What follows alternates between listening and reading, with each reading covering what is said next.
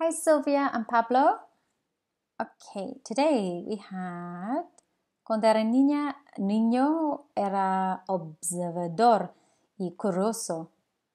Uh, when I was a child, I was observant and curious. I was observant and curious. Another way uh, to say someone's observant, or you can say um, he doesn't miss anything. He doesn't miss anything.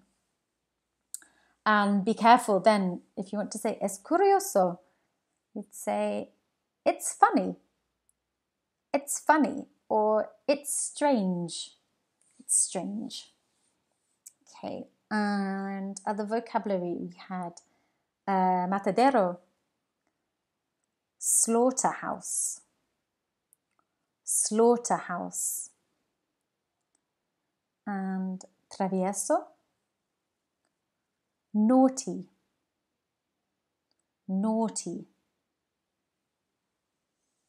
and uh, contabilidad, accounting, accounting. Uh, not to be confused with uh, responsabilidad, which can be accountability. Accountability. Um, ¿Cómo dices? Pa, pa, pa, uh, what do you call? What do you call?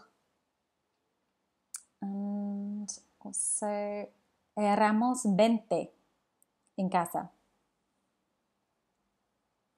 There were 20 of us at home. There were 20 of us at home. And cuando nací? When I was born. When I was born.